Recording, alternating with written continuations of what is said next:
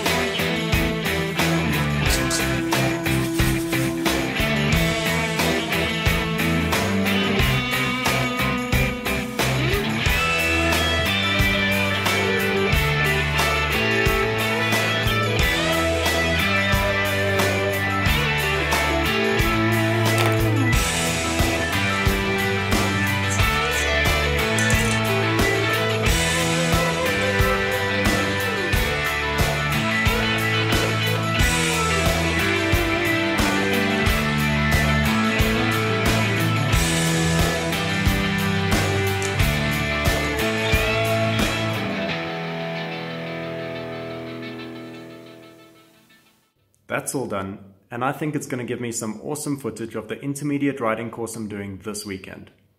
Look out for that adventure coming up soon.